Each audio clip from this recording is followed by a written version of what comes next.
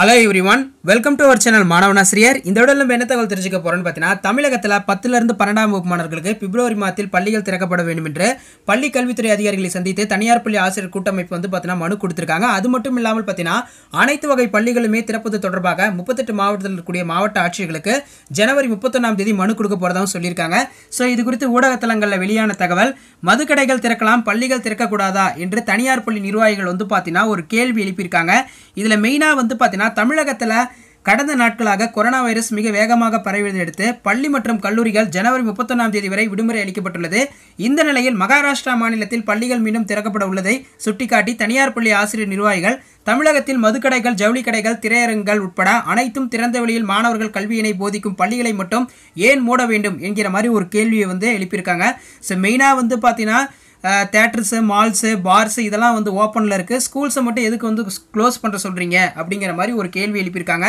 இது குறித்து மனுவை அனைத்து மாவட்ட ஆட்சியர்களிடம் அளிக்கப்பட உள்ளதாகவும் சொல்லியிருக்காங்க. விரைவில் பள்ளிகள் திறக்க அனுமதி வழங்கப்படும் என்றும் எதிர்பார்ப்பதாகவும் தனியார் பள்ளி நிர்வாகிகள் வந்து பார்த்தீங்கன்னா ஒரு அறிவிப்பு வந்து வெளியிட்டிருக்காங்க.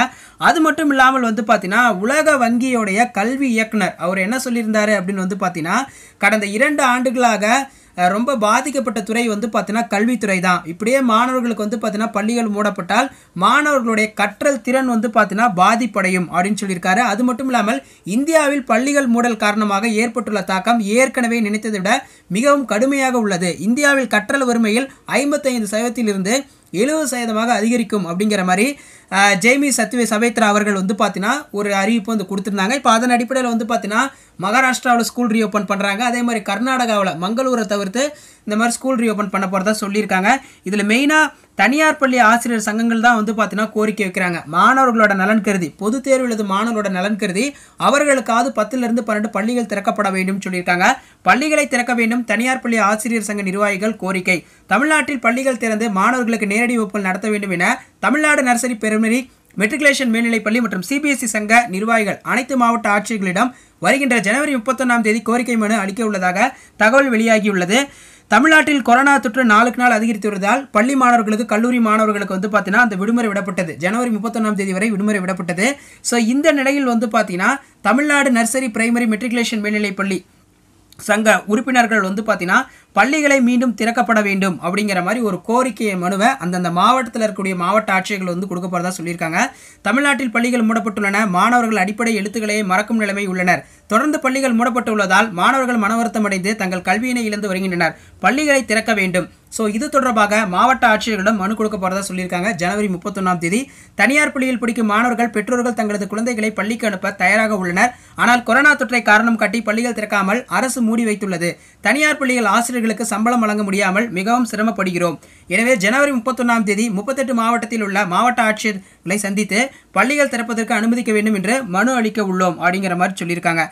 கொரோனா தொற்று வேகமாக பரவி வந்தாலும் மாணவர்களுக்கு எந்த ஒரு பாதிப்பும் இதுவரை ஏற்படவில்லை.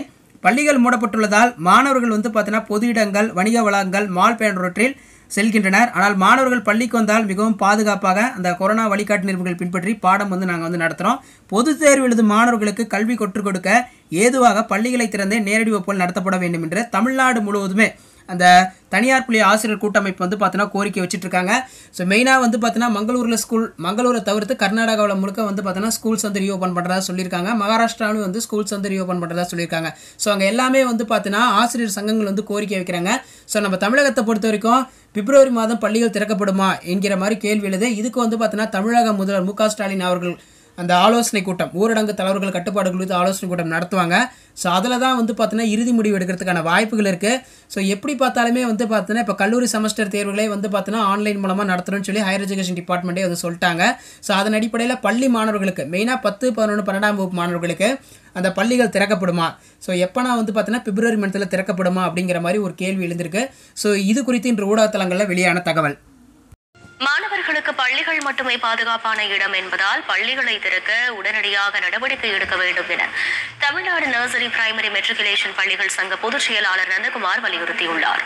கல்வி தான் முக்கியங்க. நோய் வந்து வரத்தா செய்யும் வரும். இது பழகி கொள்ளுங்கட்டாங்க உலகமே இன்னைக்கு தான் பழகி கொள்ள ஆகிட்டு மாணவர்களுக்கு குழந்தைகளுக்கு நோய் எதிர்ப்பு சக்தி அதிகம். எந்த மாணவனுக்கும் வந்து கொரோனா வந்து யாருக்கும் எதுவும் ஆகவில்லை. ஆகாது. எங்கள் பள்ளி பள்ளி பிள்ளைகளுக்கெல்லாம் நாங்கள் கொரோனா தடுப்பூசி போட்டு விட்டோம். அரசின் விதிமுறைகளுக்கு உட்பட்டு முழுமையான பா- காலையிலே வந்தோட உடல் வெப்பநிலையை அவனுக்கு வந்து தெர்மோமீட்டர் கொண்டு டெஸ்ட் பண்ணுறோம் அவனுக்கு கிருமி நாசினி தெளிக்கிறோம். வகுப்பறை கிருமி நாசினி தெளிக்கிறோம். இதெல்லாம் வீட்டில் கூட கிடையாது. எங்கேயும் கிடையாது. இப்போ வெளியே ஷாப்பிங் மால் போகிறாங்க சினிமா தேட்டர் போகிறாங்க எல்லா இடத்துக்கும் போகிறாங்க அங்கெல்லாம் வந்து மனிதன் சாவதற்கு இன்னைக்கு பார்த்தா நேற்று ஏழு மாணவர்கள் நீச்சல் தெரியாமல் குட்டையில விழுந்து செத்து போயிட்டாங்க கிராமப்புறங்கள்ல.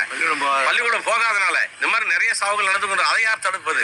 எனவே பள்ளிக்கூடம் ஒன்று தான் பாதுகாப்பான இடம் இந்த நாங்கள் மட்டும் சொல்லவில்லை. தமிழ் தமிழக பள்ளி பிள்ளைகள் பெற்றோர்கள் எல்லாம் சொல்றாங்க. எனவே தயவுசெய்து பள்ளிக்கூடத்தை திறக்கணும்.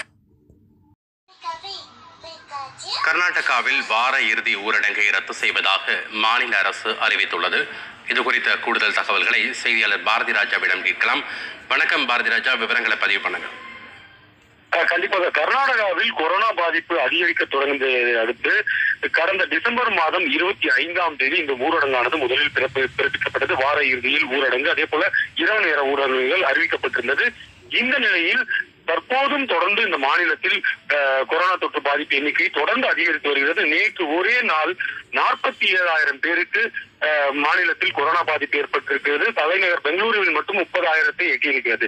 இந்த சூழ்நிலையில் இன்று கர்நாடக முதல்வர் பசவராஜ் பொம்மை அஹ், வல்லுநர்களுடன் ஒரு ஆலோசனை கூட்டம் நடத்தினார். சுகாதாரத்துறை அதே போல காவல்துறை அஹ், அது மட்டுமல்லாமல் இங்கு ஹோட்டல் உரிமையாளர்கள் திரையரங்க உரிமையாளர்கள் என பலருடனும் இந்த ஆலோசனை கூட்டமானது நடைபெற்றது. இதில் அனைவருமே கேட்டுக்கொண்ட என்னவென்றால் வார இறுதி ஊழலை நீடிக்க வேண்டும். அதனால் பெ- பெருமளவில் தொழில் பாதிக்கப்படுகிறது. மக்களை அதற்கு பதிலாக மக்களை எச்சரிக்கையுடன் இருக்குமாறு அறிவுறுத்தலாம் என்ற ஒரு விஷயத்தை முன்வைத்தார்கள். அதை ஏற்றுக்கொண்ட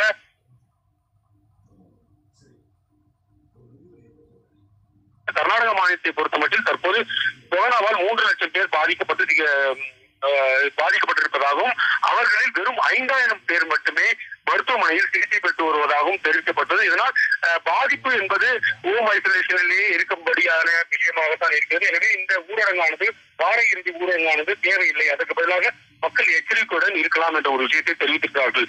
அது மட்டுமல்ல தற்போது இந்த கொரோனா பாதிப்பு அதிகரி அதிகரித்ததை தொடர்ந்து பள்ளிகளும் மூடப்பட்டிருந்தன கல்லூரிகளும் மூடப்பட்டிருந்தன. இதையும் திறக்க தற்போது கர்நாடக அரசு உத்தரவிட்டிருக்கிறது.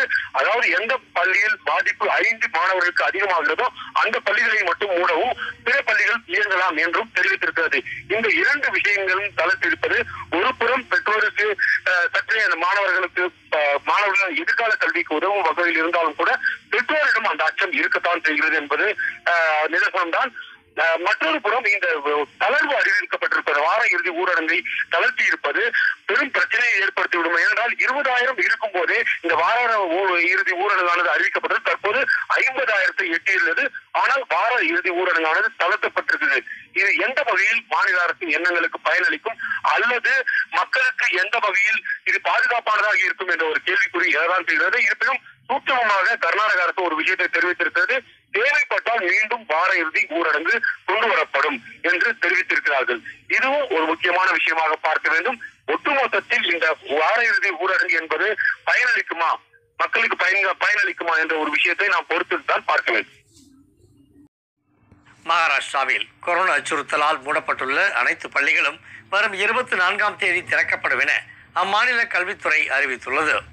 அனைத்து பள்ளிகளிலும் ஒன்று முதல் பன்னிரெண்டாம் வகுப்பு வரையில் நேரடி வகுப்புகள் நடைபெறும் என அறிவிக்கப்பட்டுள்ளது. மகாராஷ்டிராவில் கொரோனா மூன்றாம் அலை மற்றும் ஒவைக்ரான் வைரஸ் பரவல் காரணமாக பள்ளிகளை மூட கடந்த எட்டாம் தேதி மாநில அரசு உத்தரவிட்டது. வரும் பிப்ரவரி பதினைந்தாம் தேதி வரை பள்ளிகள் மூடப்படும் என்று அறிவிக்கப்பட்டிருந்தது. இதனிடையே அரசின் முடிவால் மாணவர்கள் மிகவும் பாதிக்கப்படுவதாக பெற்றோர் ஆசிரியர் தரப்பில் புகார் எழுந்தது.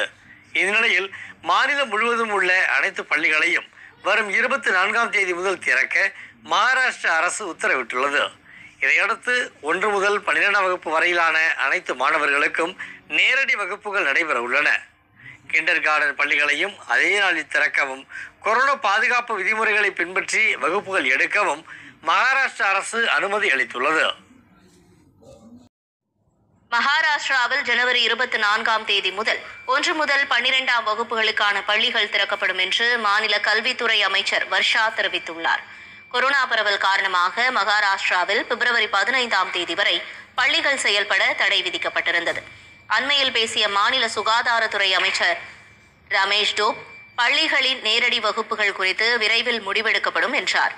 இந்த நிலையில் மாணவர்களுக்கு நேரடி வகுப்புகள் நடத்த வேண்டும் என்ற பரிந்துரை வந்ததால் ஜனவரி இருபத்தி நான்காம் தேதி முதல் கொரோனா நெறிமுறைகளை பின்பற்றி பள்ளிகள் திறக்கப்படும் என்று அறிவிக்கப்பட்டுள்ளது.